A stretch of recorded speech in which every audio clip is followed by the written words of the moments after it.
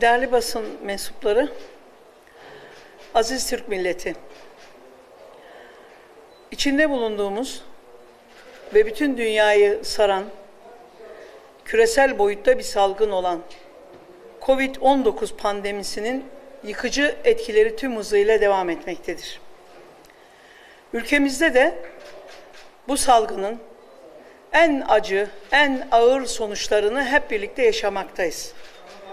Toplum olarak bu süreçten en az zararlarla kurtulmak için neler yapılmalı? Bu konuda hangi tedbirler alınmalı? Bunun çözümleri nelerdir konusunda? Değerli Genel Başkanımızın önerileri ve talimatlarıyla Toplumsal Politikalar Başkanlığımıza bağlı Sağlık Politikaları Başkan Yardımcılığının hazırladığı çözüm önerilerini sizlerle paylaşmak istedik. Biraz sonra Başkan Yardımcımız Profesör Doktor Murat Karaman Bey bu konuda teknik açıklamaları size yapacaktır. Öncelikle İyi Parti olarak halkımızın bütün dertlerinin ve sorunlarının ne olduğunu biliyoruz. Ve bunların çözümünü üretmek için de elimizden geleni yapıyoruz. Muhalefet partisi olarak üzerimize düşenin sadece eleştiri değil, çözüm önerileri olduğunu da biliyoruz. Ve bulduğumuz çözüm önerilerini de saklamadan halkımızın hizmetine sunmak için zaman zaman basın topl toplantılarıyla sizlerle birlikte olacağız. Gelinen bu noktada daha fazla yurttaşın yaşamını yitirmemesi için Sağlık Politikaları Başkanlığımızın hazırladığı COVID-19 önlem paketini biraz önce de zikrettim. Sayın Başkan Yardımcımız açıklayacaklar. Bu paket önemli bir paket. Biz iktidardan beklediğimiz şudur. İnsanların çalışmadan, üretmeden bir şey bir sonuca ulaşamayacağı bir coğrafyada aynı zamanda da çağda yaşıyoruz. Maalesef kapanan dükkanlar, iş yerini kapatan esnaflar, okullara gidemeyen öğrenciler, bunun yanında hastanelere ulaşamayan vatandaşlarımızın varlığından haberdarız. Çünkü biz de o vatandaşlarla iç içe yaşayan insanlarız. Pandeminin ilk başladığı dönemde herkese bedava maske vaadinde bulunanlar inşallah bedava aşıyı hiç kimseyi ayırt etmeden vatandaşına ulaştırırlar. Beklentimiz ve umudumuz budur. Dünyanın dört bir yanında pandemiden e, zarar gören, muzdarip olan insanlar gibi Türkiye Cumhuriyeti vatandaşları da aynı sıkıntıyı yaşamaktadır. Gerek ekonomik olarak, gerek sağlık açısından yeterli tedbirlerin alındığını düşünmüyoruz. Çünkü bizzat toplumun içinde yaşıyoruz. Az önce de söyledim, az önce de beyan ettim. Biz eleştirmek kadar bu sorunların çözümleri nelerdir? Bu konuda da elimizden geleni yapıyoruz ve önerilerimizi de basının huzurunda herkesin duyacağı sesle bütün ülkeye ilan ediyoruz. Ben şimdi sözü e, işin uzmanına bırakıyorum. Değerli e, Başkan Yardımcımız Profesör Doktor Murat Bey'in bu konuda ekibiyle bir hazırladığı önerileri dinlemek üzere size baş başa bırakıyorum. Buyurun Murat Bey. Değerli Güzide Başkanım çok teşekkür ederim. Ee, değerli basın mensupları, aziz Türk milleti, efendim hoş geldiniz öncelikle. Ee, demin değerli başkanımın da e, özetlemeye çalıştığı gibi ben de kısa bir girizgah yapmak isterim. Bildiğiniz gibi Covid-19 pandemisi çok yıkıcı etkisiyle dünyada kasıp kavurmaya devam ediyor ve maalesef halk sağlığı tarihte anılacak günleri yaşıyor. 2020 yılı bütün dünyada gözle görülmeyen bir düşmanla sağlık ordusunun bir savaşına şu an tanıklık ediyor. Biz eminiz bu savaşı sağlık ordusu kazanacaktır. Bu konuda tereddütümüz yok. Ama bu aşamada yapmamız gerekenler, özellikle Covid-19 savaşından edindiğimiz deneyimleri değerlendirmek, yapılanları sorgulamak, doğruları ve yanlışları belirlemek ve bundan sonraki mücadelemiz için işe yarayacak ipuçları elde etmek bizim yegane görevimiz. Bunu yaparken tek dayanağımız bilimsellik. Yani bunu kastederken sorgulayıcı olmak, doğruluk, gerçekçilik, güvenilirlik, inandırıcılık ve şeffaflık. Ana, tema, ana temamız bunun üzerine dayanmalı. Şu an Türkiye'nin dört bir yanından, büyük şehirlerimiz olan İstanbul, İzmir, Ankara, Bursa, Eskişehir, Adana, birçok büyük ilimizin e, kamu hastanelerinin yetkililerinden, meslek gruplarından birçok servisin, yoğun bakım servislerinin dolduğuna dair ciddi haberler geliyor. Ve artık içinde bulunduğumuz tsunami en riskli günlerini yaşıyor. Doğal olarak Türkiye'nin tek vizyoner partisi, kalkınmacı, yenilikçi ve çözüm üretici bir parti olarak bizler de kollarımızı sıvadık ve bununla ilgili çok önemli bir önlem paketi hazırladık sizler için.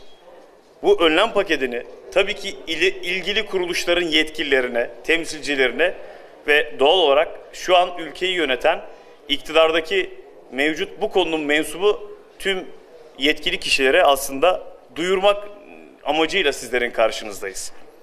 Biz mevcut önlemler raporumuza şöyle başlayabiliriz. 1. 4 hafta boyunca nüfus hareketliliğinin en asgari düzeye indirilmesi için gerekli önlemlerin en baştan alınması.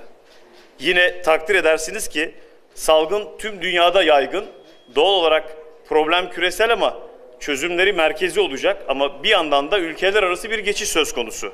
Bu anlamda 4 hafta minimum 4 hafta boyunca yurt içi ve yurt dışı giriş çıkışların mutlaka ekstra tedbirlerle kontrol altına alınması gerekiyor.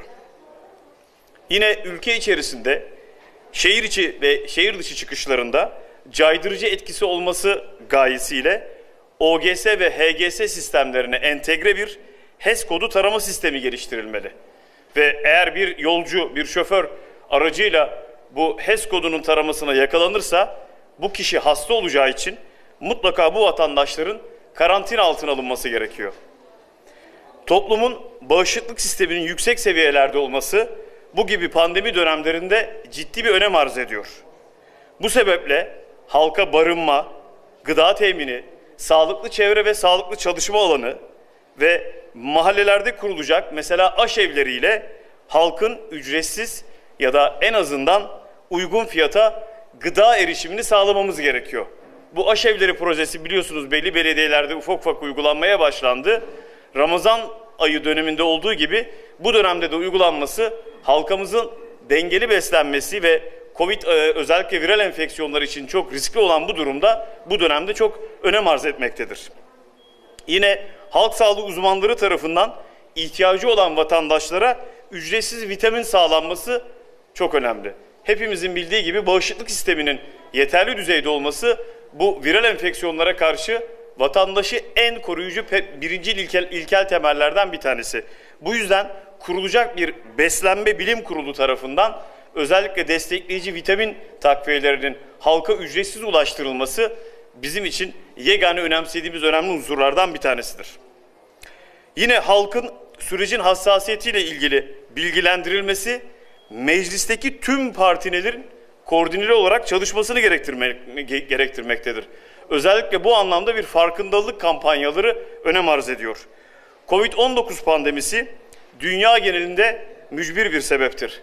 Bu dönemde asıl olan siyasi kaygıları bir kenara bırakıp vatandaşlarımızın sağlığını korumak İyi Parti'nin de vazgeçilmez temel unsurlarından bir tanesidir. Maske kullanımının artırılması ve doğru kullanılması için vatandaşlara maskelerin ücretsiz temini şarttır. Çünkü biz mesela hekimler olarak, bilim insanları olarak özellikle riskli kalabalık bölgelere insanların, vatandaşımızın girdiği zaman iki ya da üç maskeyle girmesini ve o ortamdan çıktığı zaman en dışta bulunan maskeyi sadece o askı kısımlarından tutarak hiç dokunmadan mutlaka imha etmesini öneriyoruz. Bunun için çoklu bir maske temini şart. Bu düzgün ve doğru uygulamayı yapabilmek için de vatandaşımızı ücretsiz ve yeterli maske kullanımına eriştirmemiz bir gerekliliktir. Bir diğer önerimiz mobil PCR test ve tanı istasyonları kurmak. Bunlar hastanelerimiz üzerindeki test yükünü kaldırmak ve halkın teste ulaşımını arttırmak ve testlerin yapılımını yaygınlaştırmak için önerdiğimiz bir öneri. Hepinizin çokça basından ve medyadan takip ettiğiniz gibi bu mevcut testler için hastanelerde ciddi kuyruklar oluşmakta ve bu mevcut yakınlaşmalı toplu alanda bulunmada hastalığın bulaştırıcılar e, açısından ciddi bir risk oluşturuyor. Bir de buradan pozitif tanısı alan vatandaşımız bu test istasyonlarından yani e, mevcut bunu yapan pandemi hastalarından toplu taşıma araçlarıyla kendi evlerine dönmekte. Bu da toplu taşıma araçlarındaki diğer insanlara bulaştırma riskine sebep olmaktadır. Eğer biz bunları mahallelerdeki bu tanı ve test istasyonlarında gerçekleştirebilirsek o zaman kişiler pozitif bile çıksalar tekrar yürüyerek evlerine dönme ve insanlara bulaştırma riskini azaltma ihtimaline sahiptir. Bu özellikle üzerinde durduğumuz önerilerden bir tanesidir. Mobil PCR test ve tanı istasyonlarını mahallelerde kurmak. Yine altını e, özellikle vurgulamak istiyorum, çizmek istiyorum. Kış mevsimine girdiğimiz bu dönemde grip aşısı gibi mevsimsel aşıların temininin tamamlanması, ayrıca Covid-19 aşısının vatandaşlara ücretsiz ulaştırılması, hatta vatandaşların farklı menşeili farklı firmaların aşılarında seçim hakkı tanınması bizim için önceliklidir. Vatandaşların aşılanması yalnızca kendilerini korumak için değil, toplum bağışıklığı yani sürü bağışıklığını yükseltmek için de önemlidir. Unutmayalım ki kişilerin aşı olmaları kendi açılarından bir harp ama toplum açısından bir görevdir. Tekrar ediyorum, kendileri açısından bir hak ama toplum açısından bir görevdir. Bu konuda sağlıkçılara, politikacılara, yöneticilere, toplum liderlerine ve kanaat önderlerine önemli sorumluluklar düşmektedir. Bu aşıların yapılması, bu mevcut e, kanaat önderleri tarafından aşının bizzat uygulanıp bunun kamuoyuyla paylaşılması özellikle aşı karalama kampanyaları açısından akıldaki soru işaretlerine çözüm olacaktır.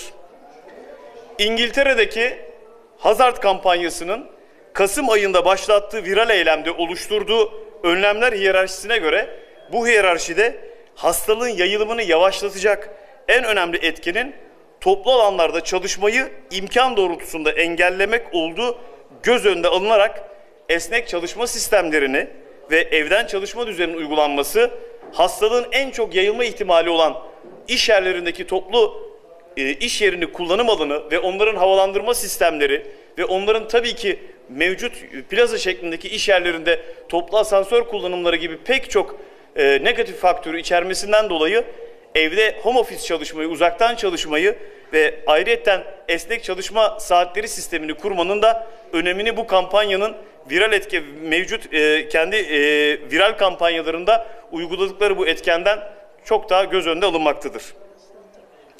Başta üretim alanları olmak üzere ulaşım, beslenme, barınma gibi işçi sağlığı ve e, güvenlilik e, önlemleri alınmalı. Özellikle kronik hastalığı olanlar idari izinli sayılmalı. İşten çıkarmalar yasaklanmalı. Kısa çalışma ödeneği tam ücret olmalıdır. Esnek çalışma düzeni acilen devreye alınmalı ve finansmanı devlet sosyal fonlarından karşılanmalıdır. İşçilere ücretsiz yaygın olarak test yapılmalı ve açıkçası vaka sayılarının arttığı iş yerlerinde bu döneme özgü üretimlere ara verilmelidir. Çalışanların koruyucu donanımları işverenler tarafından sağlanmalı, özellikle evden çalışma saatleri düzenlenmeli ve evlerinden çalışanların iş için kullandıkları kaynaklar mesela internet bağlantısı, telefon gibi bunların işveren tarafından karşılanması bizim de bir tavsiyemizdir. Hepinizin bildiği gibi sağlık çalışanlarımız sürecin başından beri büyük bir sağduyu ve ile çalışmalarına devam etmektedirler. Bu süreçte orantısız bir şekilde maalesef virüs ile karşı karşıya kalmaktadırlar. Hatta maalesef hayatlarını kaybetmektedirler. Bugüne kadar 200'den fazla sağlık çalışanımızı kaybettik. Buradan da huzurunuzda rahmetle kendilerini anıyoruz. Covid-19'un bir meslek hastalığı olarak kabul edilmesi artık reddedilmeyecek bir gerçektir. Hatta pandemi sürecinde bu hastalık nedeniyle ha- hayatını kaybeden tüm sağlık çalışanlarının görev şehidi sayılması ile ilgili yasa teklifinin bir an önce meclisten geçirilmesi ve şehitlerimizin ve yakınlarının hakların korunması elzemdir. Sağlık çalışanlarımızın periyodik olarak test yaptırmaları sağlanmalı, koruyucu donanım eksikleri sağlanmalıdır. Sokağa çıkma yasağı olan günlerde çocuklarını çalıştıkları hastanelere götürmek zorunda kalan sağlık çalışanları için hastanelerde izole kreşler açılmalıdır. Maddi ve manevi olarak yorulan sağlık çalışanlarımızın bu zor dönemde psikolojik destek almaları mutlaka sağlanmalıdır.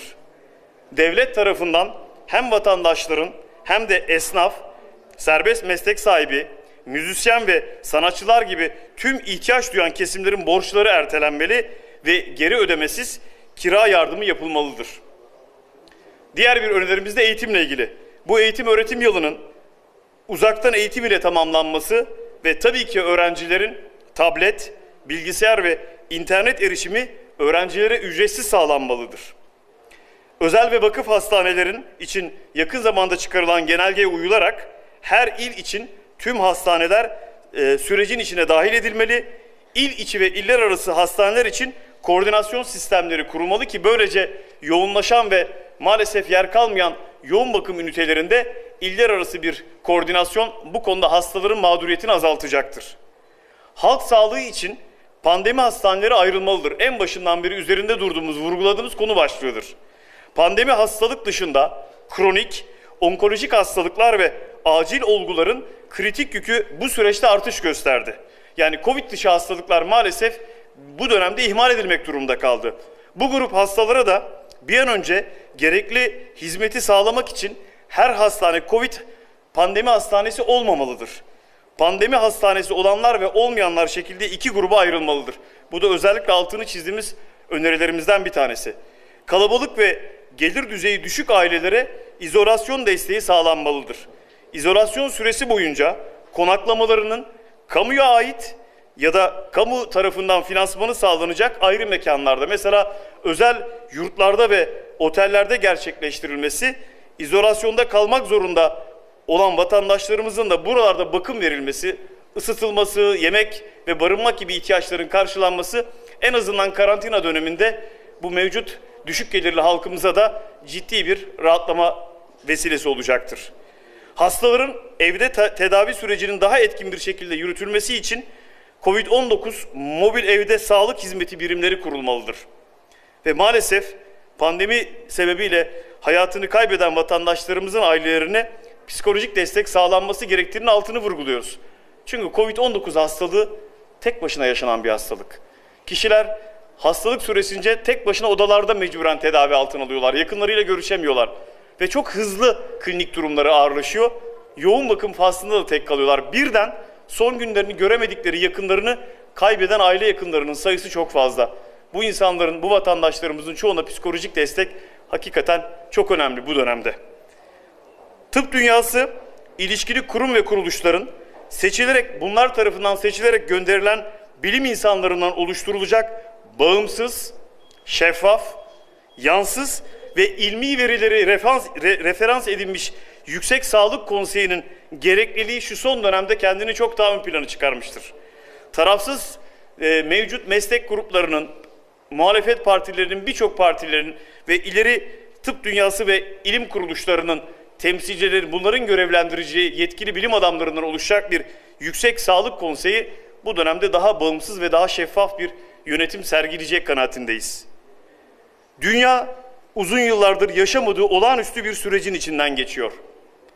Bütün ülkeler gibi Türkiye'de bu yeni pandemilerin ortaya çıkmaması için doğa ile uyumlu bir yaşamın oluşmasına katkı sunacak adımları ivedilikle atmalıdır.